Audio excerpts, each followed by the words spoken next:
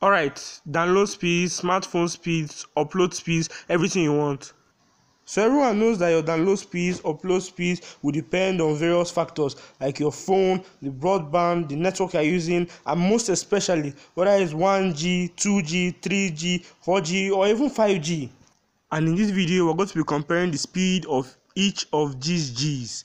Yeah, you're G. Each of these Gs and how they stack up with each other. Let's get started.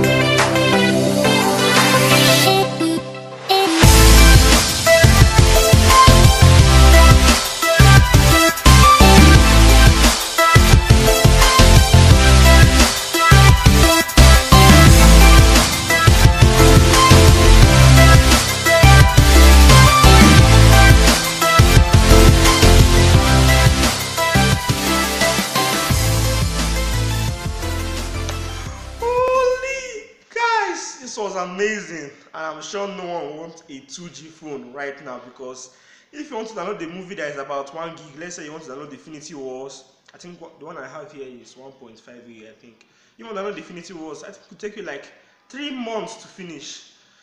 Oh well, the with 5G can finish downloading that movie in about 10 seconds. That's how good or bad the world is today.